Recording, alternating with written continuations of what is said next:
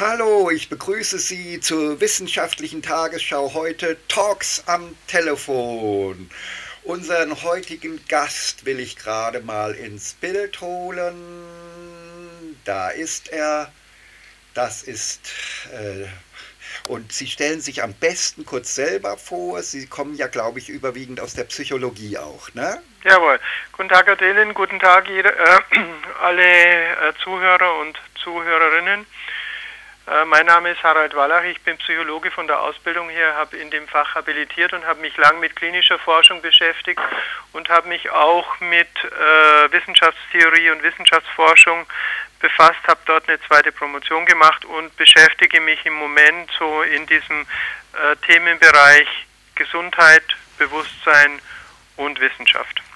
Genau, und ich habe gesehen, auch Komplementärmedizin ist für Sie. Ja, das ist mein, mein ursprüngliches Gebiet. Ich habe Evaluation von Komplementärmedizin sehr viel gemacht und mich über diese Bereiche natürlich mit Medizin beschäftigt, mit äh, Fragen der Gesundheit und derlei Dingen. Und sogar Homöopathie ja. habe ich gesehen. Ja, das ist mein erstes Gebiet gewesen. Das passt alles äh, auch sehr gut zu den nextscientistforfuture.de und dem Weltrat der Weisen, weil mhm. wir äh, sozusagen äh, äh, kommen wir nachher dazu, bei, zu den Fragen, ja auch eine völlige Chancengleichheit herstellen wollen für, die, für jegliche Form der Medizin, auch die Komplementärmedizin, die ja im Moment überall gedisst wird, wenn man es mal so modern sagt. Ja, das stimmt. Ja. In, in, Österreich ja sogar richtige Hetzkampagnen gegen die Homöopathie, ohne mhm. dass überhaupt geklärt ist, dass jemals die Schulmedizin effizienter war. Ne? Ja, das ist nochmal ein anderes Thema, ja. ja. Aber wir beginnen ganz einfach damit, damit die Zuschauer ganz kurz so meine erste Frage an Sie. Was war für Sie? Wir haben ja mittlerweile hunderte von Argumenten von 120 Professoren und Doktoren und so weiter. Und mittlerweile auch von den Next Scientists for Future.de gab es ja auch jetzt schon 100 Sendungen über, äh, was war für Sie das überzeugendste statistische oder sonstige Argument dafür, dass wir es hier mit einer Gefährlichkeitsübertreibung durch den Mainstream der Medizin zu tun haben bei Corona? Das waren für mich eigentlich verschiedene Daten, die ich mir angeguckt habe. Ich habe zunächst mal äh, das naiv geglaubt, wie das jeder auch tut. Dann habe ich mir Daten angesehen und habe mich ein kleines bisschen kundig gemacht und gemerkt, dass es alles viel komplexer ist, als wir denken. Aber am meisten hat mich eigentlich verblüfft, als vor drei Wochen ungefähr die chinesische Gruppe um Wu in Wuhan ihre äh, Daten publiziert hat, dann habe ich mir die sehr genau angeschaut und gesehen, die Meldung der Daten ist ja immer um zwei Wochen verzögert in dem Peak. Ich habe Ihnen da eine Publikation geschickt und in dem Supplement in der Abbildung Nummer 3 sieht man sehr genau. Also ich bin jetzt auf, der I, auf einer E-Mail, da ist einmal Docs drin, ist, Welle ist vorbei Nee, nicht das Doc, sondern das PDF, das ich Ihnen geschickt habe. Das sind die beiden Originalpublikationen, genauer gesagt die Originalpublikation und äh, die Supplementpublikation zum Original von dieser Pan- und Kollegenstudie aus Wuhan. Und wenn man da auf das Supplement klickt, äh, auf die Abbildung 3, dann Pan sieht Yama, gell? Ja, genau, Jama. Das mache ich jetzt mal auf. Und zwar die Abbildung 3 im Supplement.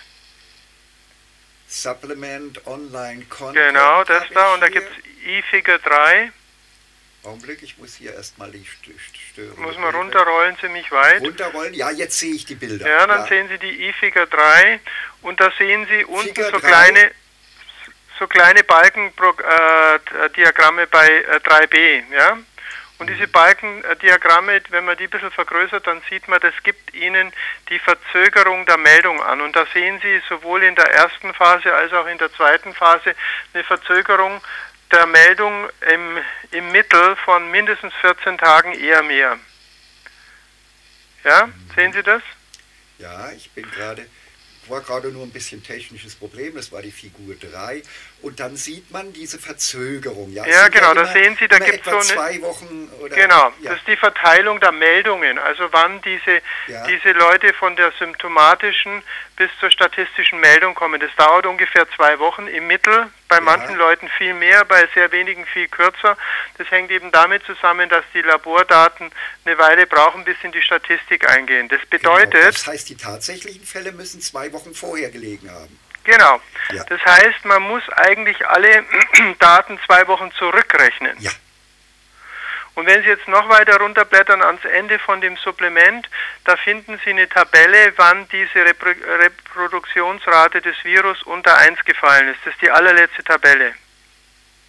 Ja, ich habe hier Und dann sehen Sie, Tabellen. das war der 6. Februar. Das kann ich mir deswegen gut merken, weil es mein Geburtstag ist. Das war der 6. Februar, da ist die Reproduktionsrate unter 1 gefallen. Ja, ich sehe hier Richtig. Februar, Februar 11. Da sehe ich jetzt hier. hab- 6. bin ich da Februar. Richtig?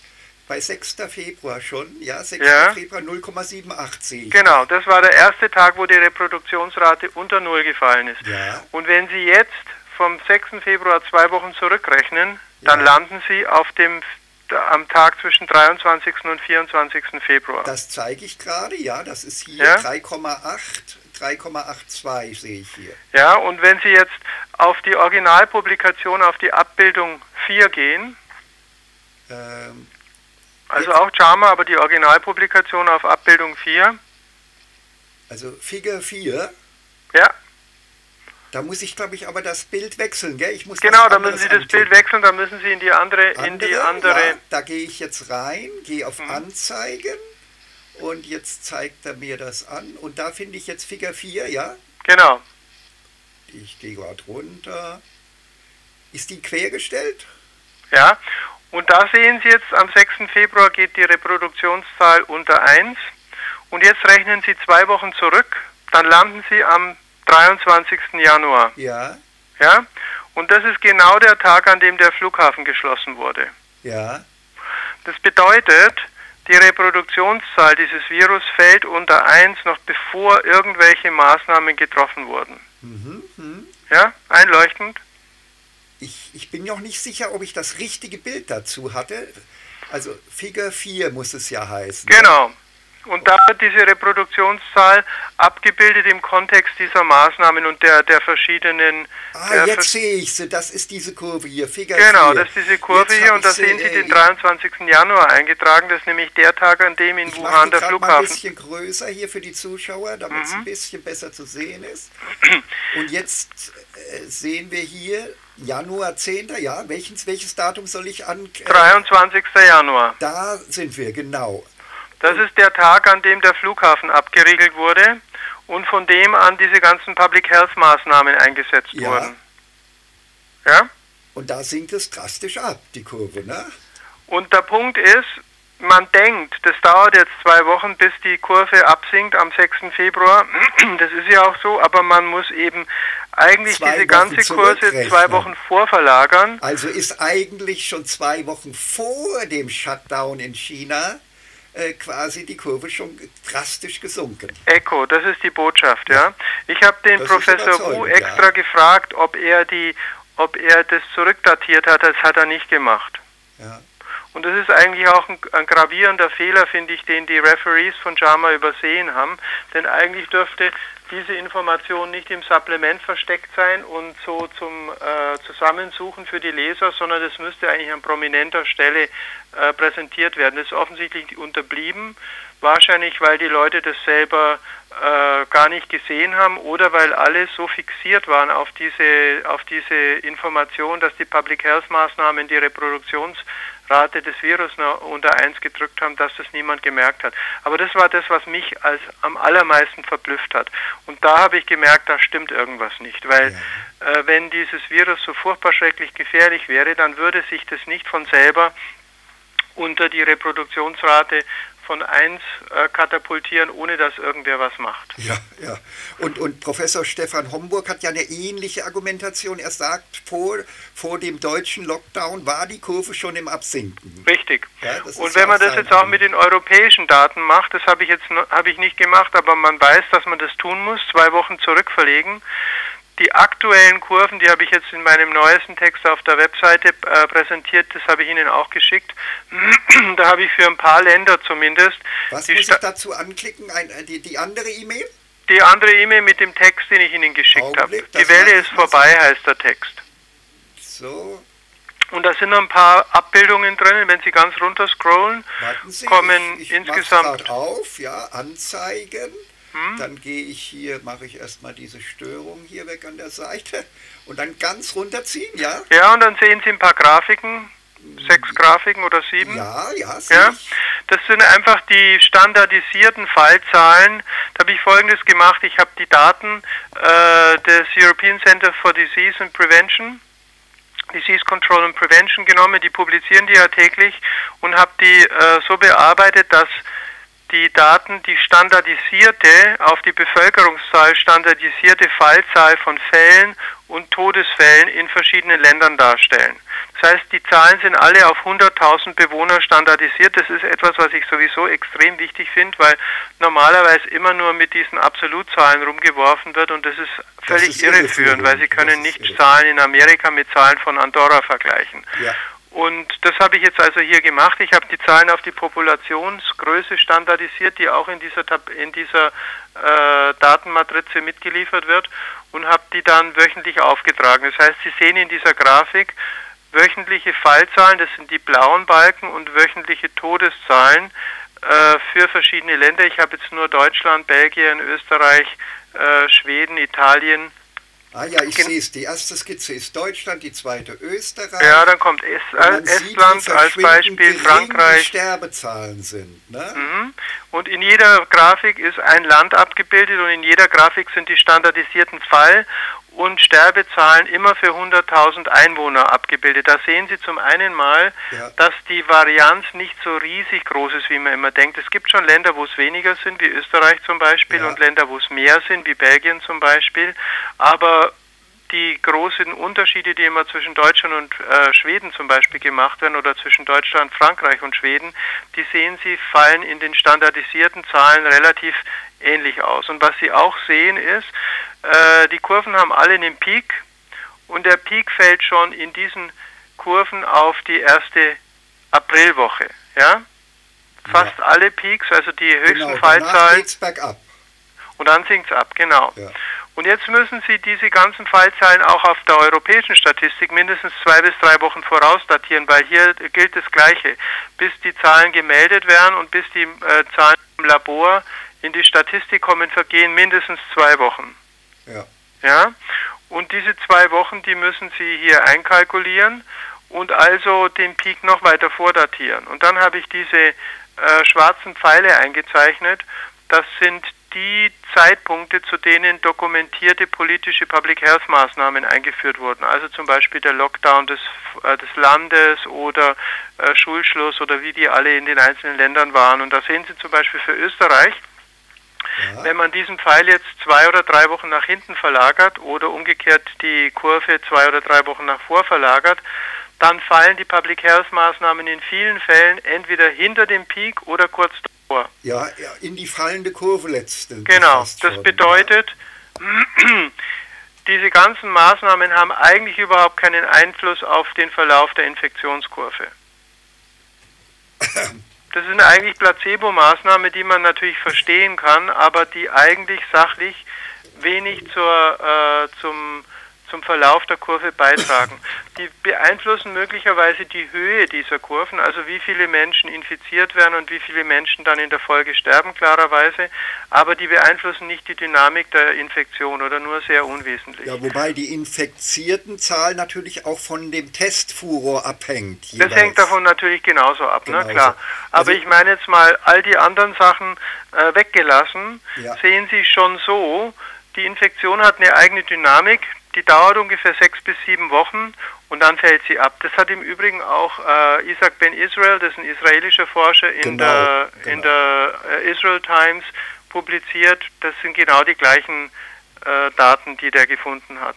Genau. Und das finde ich sehr verblüffend, weil das doch bedeutet, wir haben es hier mit einem Erreger zu tun, der hat eine ganz eigene Dynamik, wie ja die meisten Erreger ihre eigene Dynamik haben, die nach ungefähr sieben bis acht Wochen abfällt und dann äh, zieht sich der zurück. Warum auch immer, dazu kann ich nicht, nichts dazu sagen. Ich bin kein Infektiologe, aber mir fällt es einfach in den Daten auf.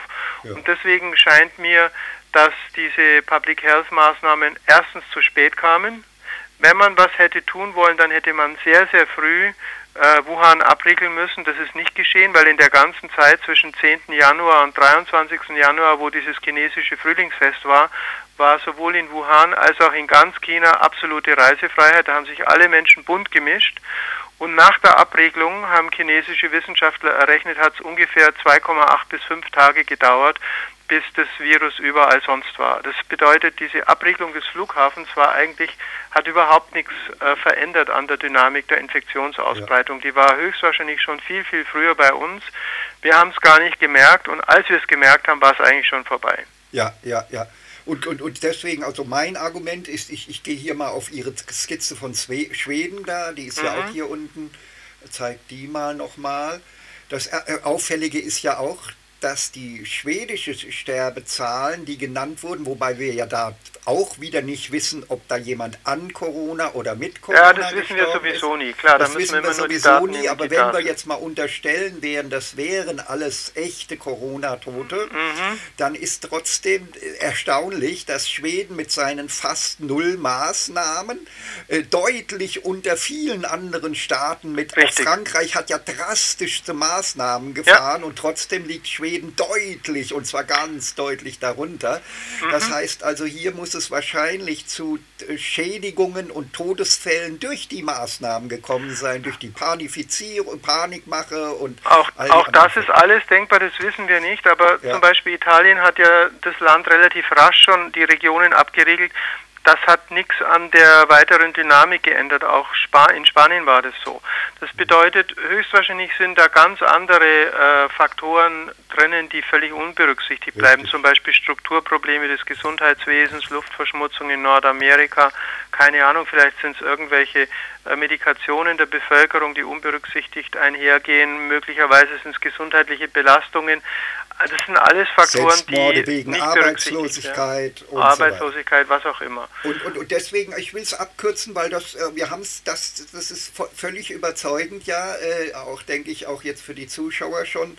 Und mein Hauptargument ist wirklich Schweden. Ich kann es noch mal so kurz sagen, wie ich so kurz überschlagen habe.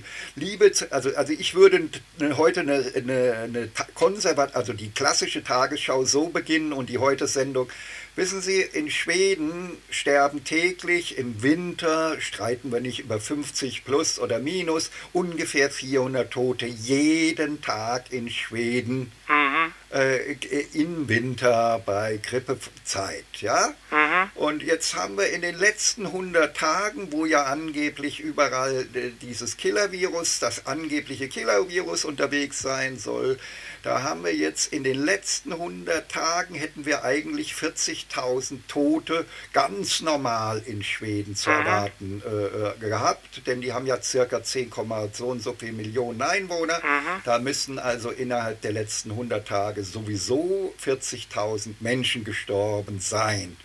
Jetzt wird behauptet, äh, Schweden hätte an die 2700, 800 äh, echte Corona-Tote, von denen, wo wir nicht wissen, ob wir das glauben sollen, dass es sich um echte, reine, aber wir unterstellen mal, es handele sich um reine Corona-Tote. Dann haben wir, hätten wir im schlimmsten Fall eine Schwankung von 40.000 zu erwartenden Toten auf 43.000. Mhm. Das ist undramatisch und das rechtfertigt keine drastischen Maßnahmen. Außerdem Außerdem kann ein Teil dieser 3000 Toten erstens durch die von außen, durch die anderen Länder verursachte Arbeitslosigkeit in Schweden verursacht worden, durch die herangetragene Panik und alles mögliche denkbar. Alle ja. möglichen Faktoren sind da denkbar, die überhaupt nicht kontrolliert wurden und mhm. auch nicht, natürlich nicht kontrollierbar sind, denn die Außenwelt mhm. hat ja alles getan, um in Schweden eine maximale Panik auszulösen. Ja. Ne?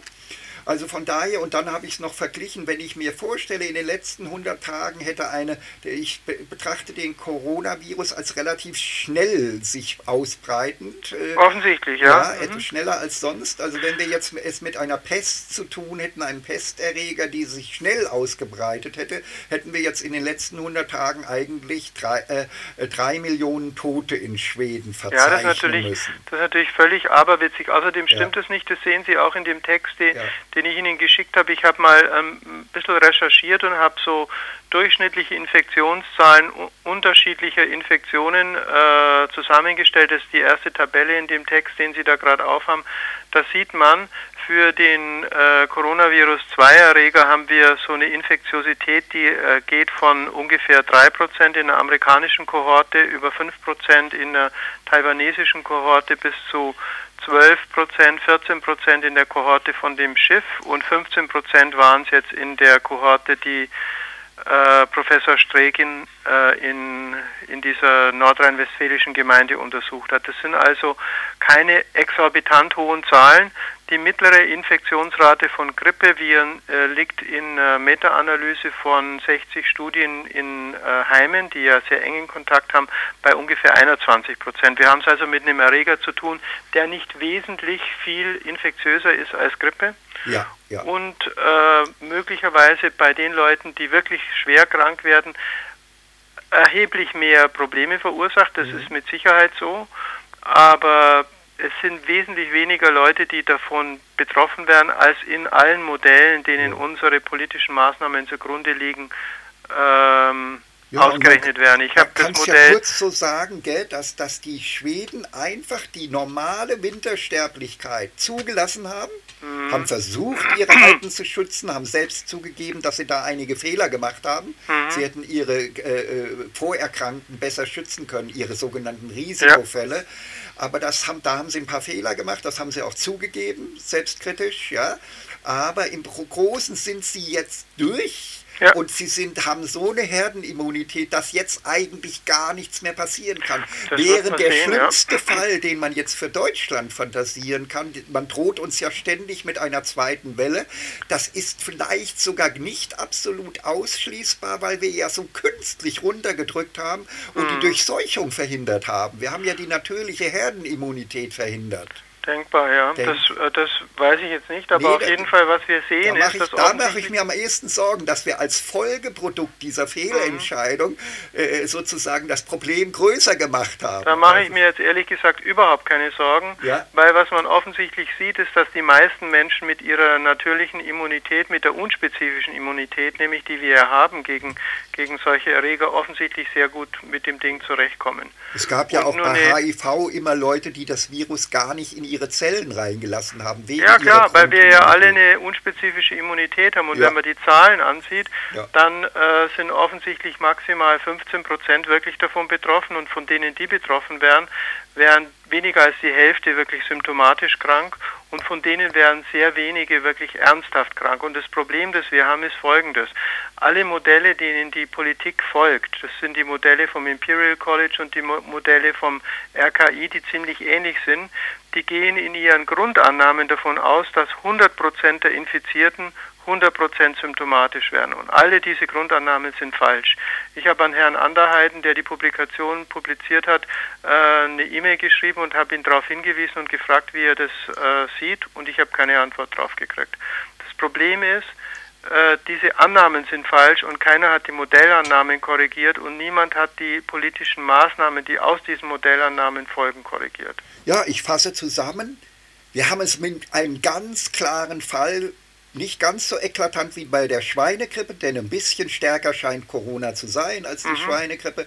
Aber wir haben es mit einem eklatanten Fall der Gefährlichkeitsüberschätzung durch den Mainstream der Medizin zu tun. Absolut. Und mhm. äh, äh, danach sind auch dann alle Fehlentscheidungen der ja sich nicht auskennenden Politiker äh, zwangsläufig. Und deswegen müssen wir uns jetzt die, die, die eigentlich wichtige Frage stellen. War, wie konnte es denn dazu kommen, dass sozusagen ein ganzes Land an, an solch einer fragwürdigen Gefährlichkeitsüberschätzung jetzt möglicherweise zugrunde gewirtschaftet wird. Ne? Weil der Diskurs angstgesteuert war und weil, ja. wenn wir mal im Angstmodus sind, wir aufhören, sorgfältig zu denken. Das ist das Problem. Ja, das wäre die Kurzantwort. Und da jetzt sind wir Dabei, äh, ich, vielleicht muss ich jetzt ganz kurz sagen, der Weltrat der Weisen und dann auch die Arbeitsgruppe Next Scientists for Future.de hat sich zusammen telefoniert. Damals haben die Professoren sich zusammen telefoniert, zeitgleich als Greta Thunberg ihren ersten Streik begann in, äh, am, am 20. August äh, 1900, das war schon 18, äh, 2018, 2018. Und, äh, und zwar um die Anekdote vom alten China, die Sie vielleicht auch bestimmt schon mal gehört haben, nämlich dass der Arzt im alten China angeblich ja, das so, habe ich oft gehört, aber das ist noch nie be bewiesen worden. Ich kenne ja, diese Geschichte. Das ja. ist nur eine Anekdote, deswegen bezeichnen wir mhm. sie als, als Anekdote, weil ich, mhm. ich glaube nicht, dass China das jemals hatte. Aber es ist ein schöner, äh, das ist ein schönes Bild, dass sich mhm. auch die Grünen, die, die Heinrich-Böll-Stiftung der Grünen Partei zum Vorbild für ihre Fachkommission Gesundheitspolitik genommen mhm. hatte. Und der Dr. Hildebrand hatte damals einen tollen Abschlussvortrag gehalten, wo er gesagt hat, wir müssen, brauchen eine Gesundheitsreform. Und ich ergänze jetzt, in der alle komplementärmedizinischen Techniken absolute Chancengleichheit bekommen, mhm. äh, sozusagen. Und wir brauchen eine Kombireform Ernährung, Gesundheit und Pflege. Mhm. Und äh, ein mögliches Element dieser Reform könnte sein, eine neue Wahlstimme, halten Sie sich fest, haben, haben Sie schon mal von Bhutans Bruttonationalglück gehört? Ja, habe ich gehört, ja. Ja, also im Sinne dessen äh, eine, eine äh, sozusagen Wohlfühlstimme als neue Wahlstimme, analog der Schulnoten. Wir fangen alle mit drei bis vier an und haben dann Spiel bis sechs minus. Wenn wir vor äh, vorzeitig sterben, gibt es die sieben dauerhaft dann sozusagen und wir haben mhm. Spiel bis eins plus.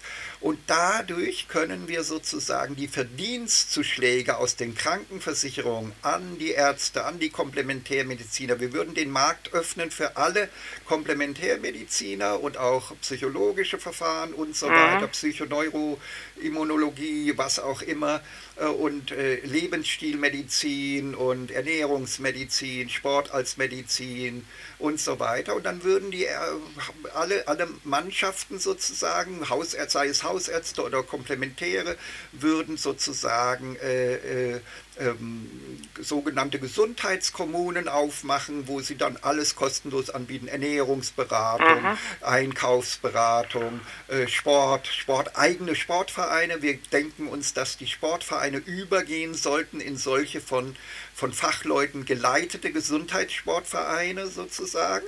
Mhm. Und äh, äh dann äh, sozusagen äh, äh, über die Wohlfühlstimme mein Lebensmittelhändler hier vor Ort äh, dann am meisten Verdienstzuschlag bekommt, sozusagen, ja. wenn ich seltener krank werde, als bei meiner Vorgeschichte und meiner familiären Vorgeschichte äh, statistisch zu erwarten gewesen wäre. Ja.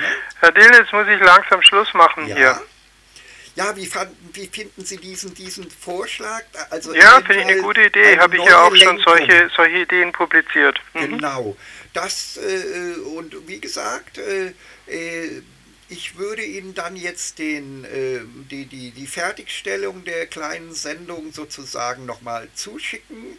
Mhm. Äh, soll ich Ihnen nur den YouTube-Link schicken? Bra brauchen Sie nicht, ja, YouTube-Link langt. Mhm. Langt, langt, mhm. sonst hätte ich Ihnen das Original zugeschickt. Ne? Mhm. Äh, ja, dann danke ich Ihnen herzlich und ich glaube, wir haben neu verstanden, vielleicht letzter Satz von mir, dass eben auch gerade weil wir keine Belohnung äh, sozusagen für Gesundheitsförderung haben, neigt ein Durchschnittsmediziner durchaus zum Übertreiben der Gefährlichkeit von ja, Erkrankungen. Absolut. Und diese Tendenz der Übertreibung aller möglichen Gefahrenquellen hat jetzt den ganzen Staat möglicherweise in eine schwere Krise gestürzt. Das könnte durchaus sein, ja. ja? Mhm. Ja gut, dann äh, haben wir eigentlich alles Wichtige gesagt. Danke. Ja? Mhm. Alles klar, dann Gut. bis demnächst. Gell? Bis Tschüss. demnächst. Tschüss, wiederhören. Wiederhören.